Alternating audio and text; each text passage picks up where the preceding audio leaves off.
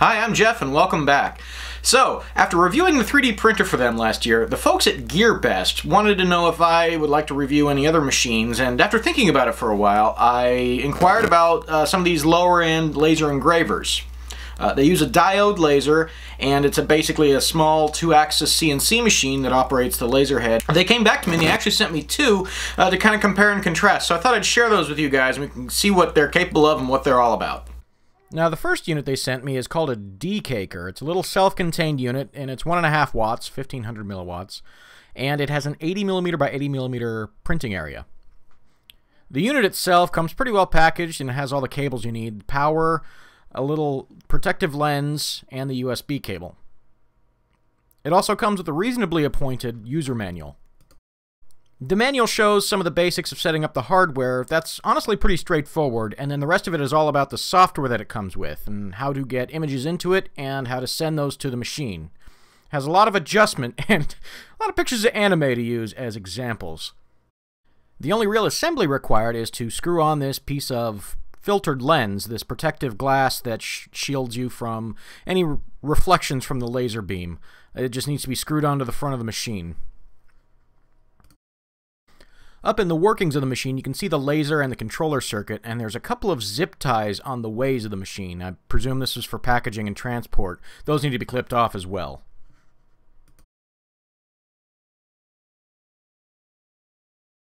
I grabbed an old phone as the first uh, victim of this laser and just put some random stuff on there for funsies, and it worked okay. This is kind of a thicker plastic. Uh, this is without really messing with any of the settings. Speaking of the settings, they're all controlled in the software that comes with the machine. It's a pretty basic program called scarv. You can create text in it, you can import images, or draw, like in MS Paint. You can optimize these images for the best possible laser engraving. And then in the control side of the software, you can control how fast it prints and at what depth. I tried to slow the print down so that I could get the most power out of it, and it still didn't really want to penetrate this other phone case I happen to have laying around. I got a bit of discoloration, but there really wasn't much of a change in the texture. I did have good results printing on a material called Kraftex. It's kind of like leather. The small and self-contained nature of this machine uh, excited me. I thought it'd be cool to print on top of things like workbenches and stuff like that. It's worth noting it also has a small and I don't know how effective little computer fan in the back of its printing area, which I guess is nice, I guess could help. I got it here on the beauty shot table to show some more prints with it, and disaster struck. The actual USB connector on the circuit board just fell off when I tried to plug in the USB. So that really sucks, and kind of ends the story for the Decaker for me. The other machine I received is called the Eleksmaker A3, and it's a configurable setup. You can order what type of laser head you'd like, as well as the electrical plug it comes with. They sent me the 2.5 watt laser, and assembly wasn't too hard, although you do need to assemble the entire setup.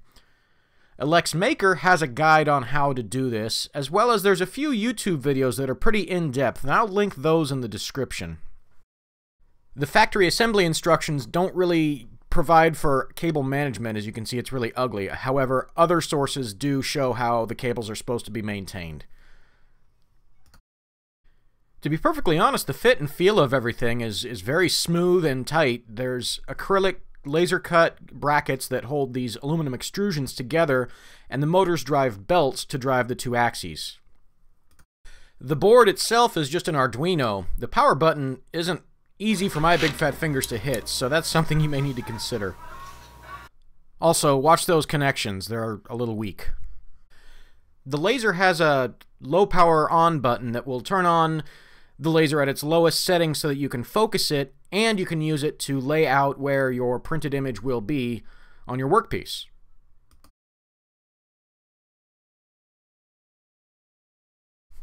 Included with the laser is a little sampling of different materials to practice lasering on. The program that drives this laser that came with it is, well, it's better than the other program with the other laser. It has a lot more capabilities. It's also a little bit buggy, and it looks like you can get other programs that drive the Arduino directly. Uh, I've found a video on that, I'll link to it in the description, but that might be a huge improvement for this whole unit. Once it's set up in the program, though, you can put your workpiece right there under the laser, using the weak mode to center it.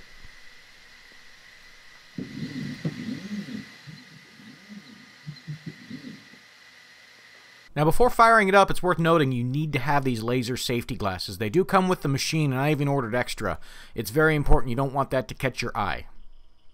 You can see how bright it is. This is just on camera. There's also a lot of smoke, so wherever you're doing it, you want a lot of ventilation. Just about anything you're going to be lasering on is going to be releasing some pretty nasty stuff into the air, and that's kind of one of the downsides of these smaller machines. There's not real any means of good, safe fume evacuation. There's also a lot of soot created, which kind of makes for an unclear image, and it actually burned through this wood you can see behind it.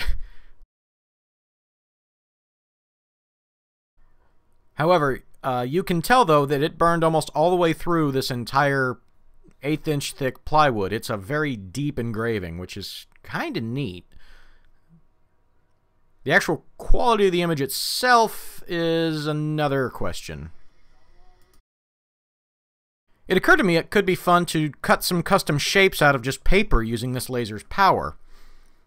I put a wood backing block so it didn't burn through the table I had it on, and so there's a problem right there. All I did was plug in a USB memory stick into the controller computer, and it automatically turned on the high power laser.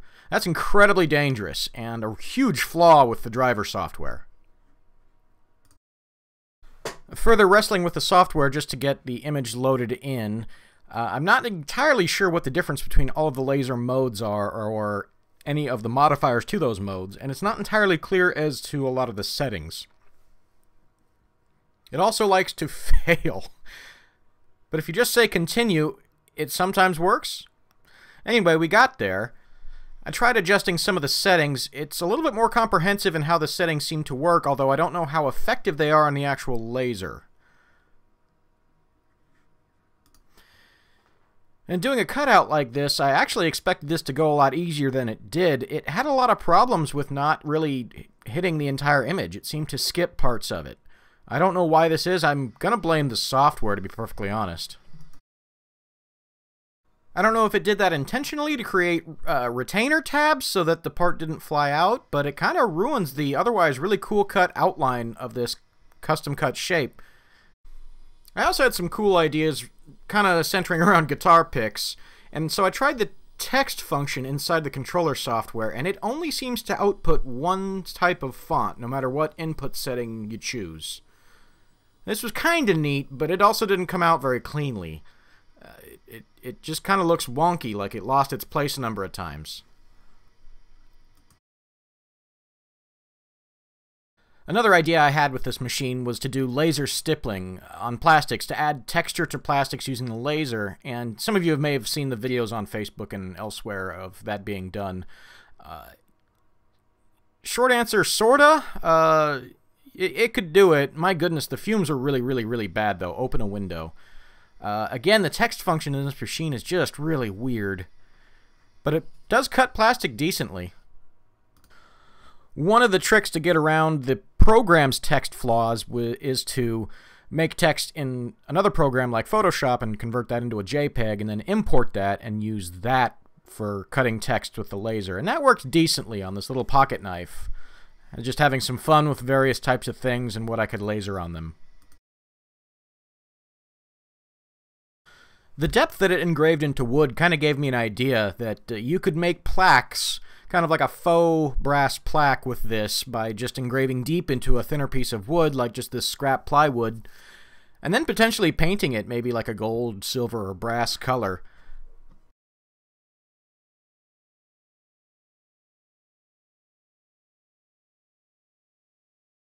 The wallet you saw me engraving on earlier in the video is made out of this material called Kraftex, which is like leather mixed with paper. It's really fascinating material. It's most akin to like the label on your jeans. So I came up with a cool jean label I thought would be fun to make and attach to some. Truthfully, it was on the frustrating side to get the controller software to basically not cut through this material. I was able to do this with the smaller laser very easily, but with this laser, it just wanted to keep cutting and burning through. It was also a challenge to get the actual resolution of the image just the way I liked it in the controlling program, and especially since it had so many different kind of strategies for how the laser could cut. I tried, I think all of them, just trying to find something that would work. And when I found something that wouldn't burn through the material, well, it seemed to lose its place every few lines, and everything just didn't match up. Like, complete no good there. And this seemed to happen a few different times. I finally gave up with this particular project uh, for my own sanity, but I believe it's the controller software's fault, to be perfectly honest. Now, what everyone's going to ask me is, what does this thing do on metal? So we've got this little anodized aluminum SD card holder. Now, no, it won't really do anything to metal, and don't try that because honestly, metal is reflective and you could blind yourself. So, short answer, nothing. Long answer, I kind of got a little bit of color change in the anodization. Not really enough worth worrying about, and this took like 45 minutes. It took a long time.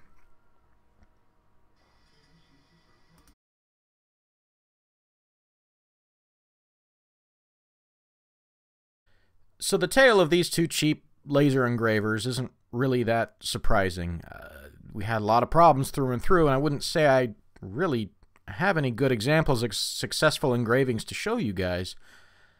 I actually had a lot of ideas for projects that I wanted to do with these lasers, and my initial fears were that the lasers wouldn't themselves be powerful enough to do those. I thought that would be the major point of, of contention with these.